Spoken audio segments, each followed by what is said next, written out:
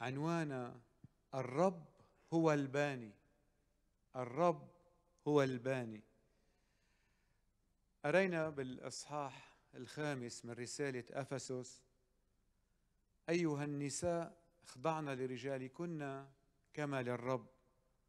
وبالعدد 25 أيها الرجال أحبوا نساءكم كما أحب المسيح الكنيسة. وأسلم نفسه لأجلها. القراءة السطحية لهالآيات نستنتج منها أنه النساء بتخضع والرجال مطلوب منا الحب. إذا بندقق شوي أكثر بهالآيات بنشوف بالآية الأولى الخضوع كما للرب. أي؟ لأننا نحب الرب فنطيعه الخضوع هو طاعة طاعة المحبة وليس طاعة الخوف. مثالنا الرب يسوع المسيح. بيقول عنه الكتاب ستسجد لاسم يسوع كل ركبة ممن في السماء ومن على الأرض ومن تحت الأرض ويعترف كل لسان أن يسوع المسيح هو رب لمجد الله الآب. يسوع مع كل هالعظمة أخضع إرادته للآب السماوي. خضوع وطاعة المحبة.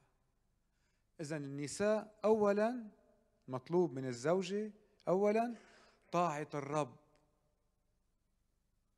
وطاعة الرجل لأنها تحبه كما تحب الرب. فالخضوع هو طاعة المحبة وليس الخنوع. بالنسبة للرجال نجد إن حب الرجل لزوجته كمحبة المسيح للكنيسة. وكيف أحبنا الرب؟ بذل نفسه لأجلنا.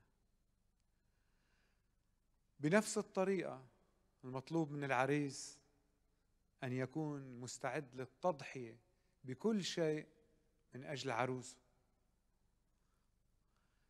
سعادتها في الدرجة الأولى. سعادة العروس بالدرجة الأولى بالنسبة للعريس. يهتم فيها ويعتني بها كما يعتني بجسده. بالآيتين النساء والرجال نجد أن الرب هو الأول. بيقول الكتاب المقدس إن لم يبني الرب البيت فباطل يتعب البناؤون. نصلي إنه يكون الرب هو اللي عم يبني هالعيلة الجديدة. بنصلي إنه يكون هو السيد وهو الآمر وهو الناهي بهالعيلة. وجود الرب بهالعيلة الصغيرة الجديدة بيعطيها القوة بيعطيها السعادة. نصلي اليوم للرب من أجل عروسنا وعريسينا وبنقول عنايتك يا رب تجمعهم. عطفك يشملهما عينك ترعاهما يمينك تعضدهما نعمتك تعينهما قوتك يا رب تغنيهما محبتك توحدهما. روحك القدوس يقدسهما. لينعما بنعم الحياة ويجتازا مصاعبها ويتحملا همومها ويتعاونان معا على تتميم واجباتهما ومسؤولياتهما. كل ذلك تحت إشراف وقيادة ربنا يسوع المسيح. آمين. نستمع لترنيمة.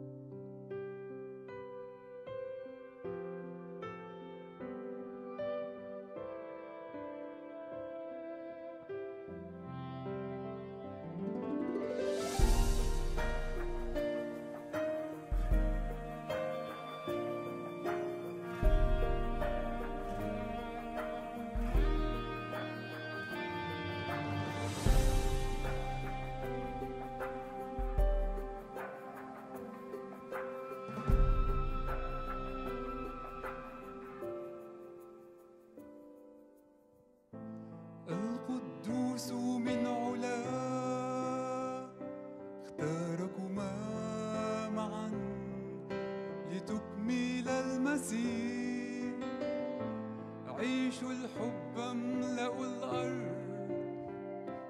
كونوا واحدا. ودربكما ينير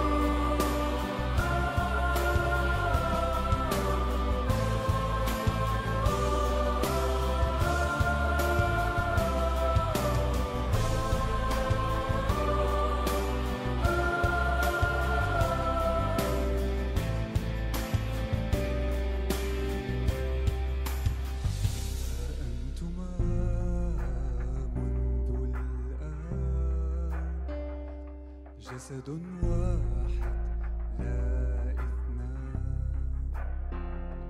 ما جمعه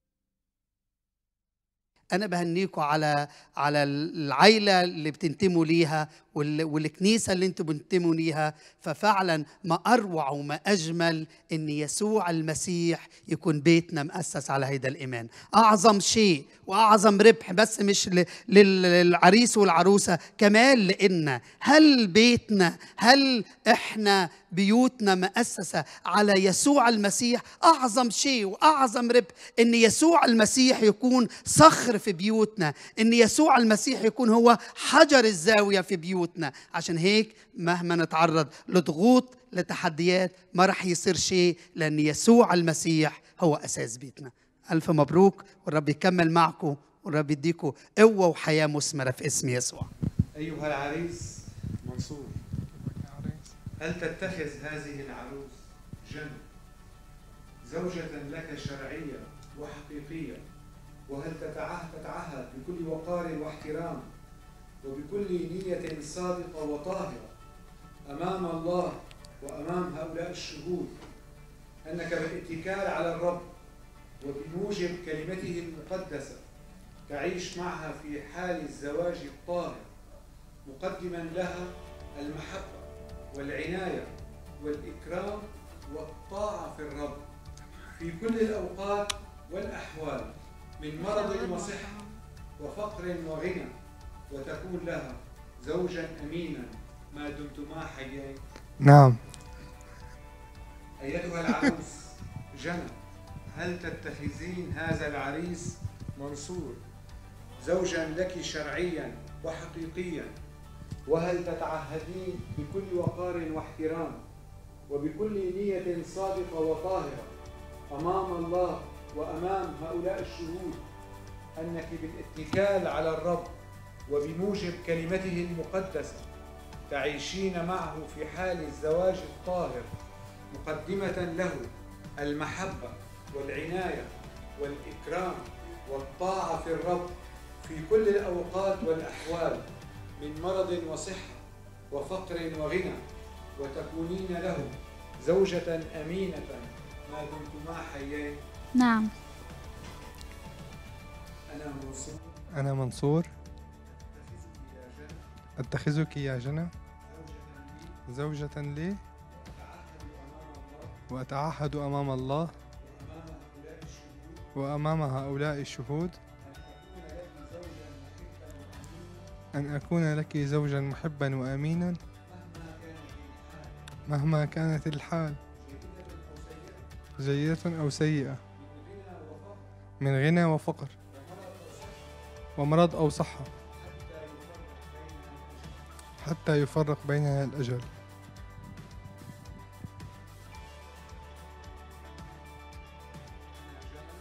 أنا جنى. أتخذك يا منصور. زوجا لي وأتعهد أمام الله وأمام هؤلاء الشهود أن أكون لك زوجة محبة محبة أمينة مهما كانت الحال. جيدة أو سيئة. من غنى أو فقر. ومرض أو صحة. حتى يفرق بيننا الأجل.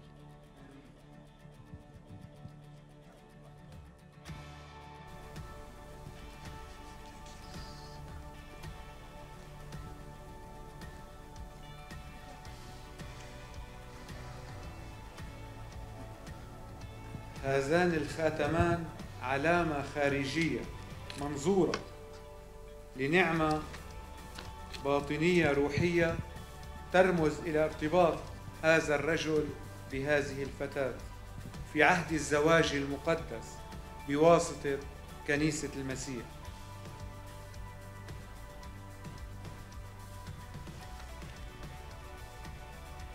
دعونا نقف لنصلي.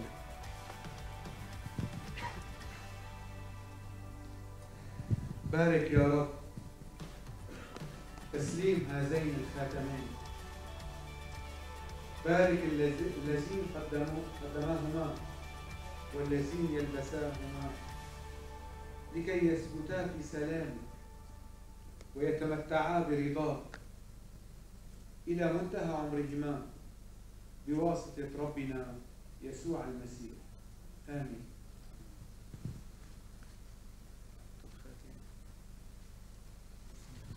نتردد. رمزا إلى العهد الذي جرى بيننا. رمزا إلى العهد الذي جرى بيننا. بهذا الخاتم أتزوجك. بهذا الخاتم أتزوجك. وبالحب والوفاء أتعهد لك. وبالحب والوفاء أتعهد لك. باسم الآب والابن والروح القدس آمين. باسم الآب والابن والروح القدس آمين.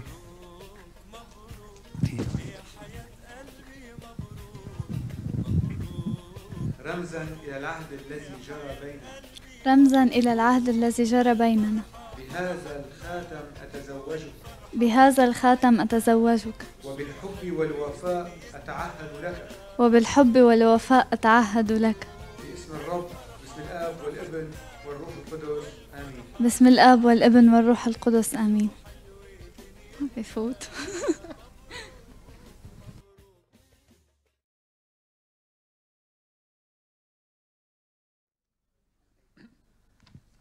اللهم الأزلي خالق جميع الناس وحافظهم واهب كل نعمة روحية وموجد الحياة الأبدية. أرسل بركتك على عبديك. هذا الرجل منصور وهذه الفتاة جنى الذين نباركهم باسمك. أنعم عليهما أن يحافظا على النذور والعهود التي قطعاها على نفسيهما. بارك زواجهما يا رب واجعله مصدر فرح كامل ودائم لهما. انظر إليهما راحما لكي يحب أحدهما الآخر ويكرم أحدهما الآخر وهكذا يعيشان معا بأمانة وصبر وحكمة وتقوى حقيقية. على موجب أحكامك ووصاياك ويبقيان في دائم الحب التام والسلام ويثبتان فيك إلى منتهى عمرهما. وأخيرا يرثان ملكوتك الدائم بواسطة ربنا يسوع المسيح. آمين. اللذان جمعهما الله لا يفرق بينهما إنسان.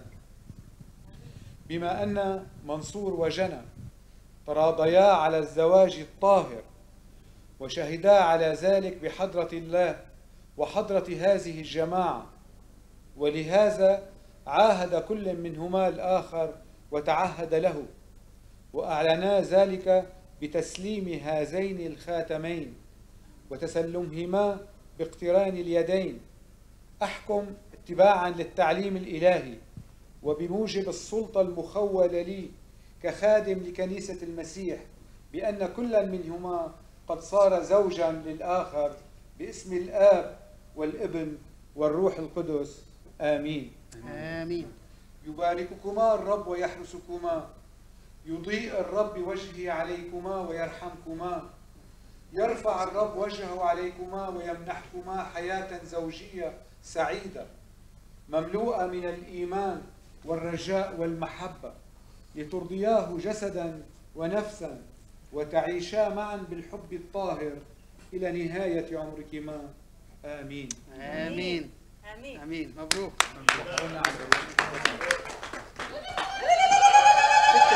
أمين.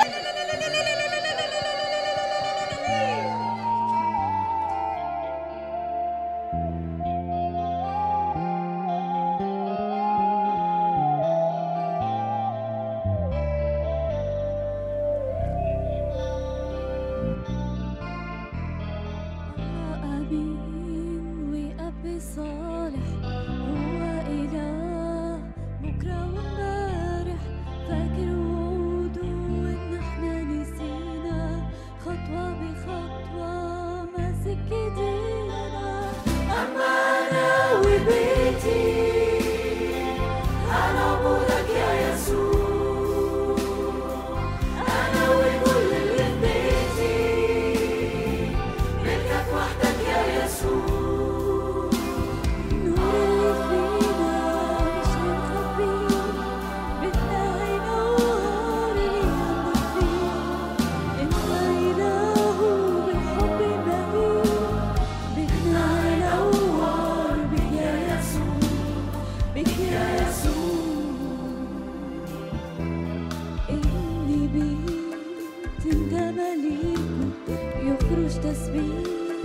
من شبابيك وحد قلوبنا ضلل علينا دايما كلامك قدام عينينا. أما أنا وبيتي أنا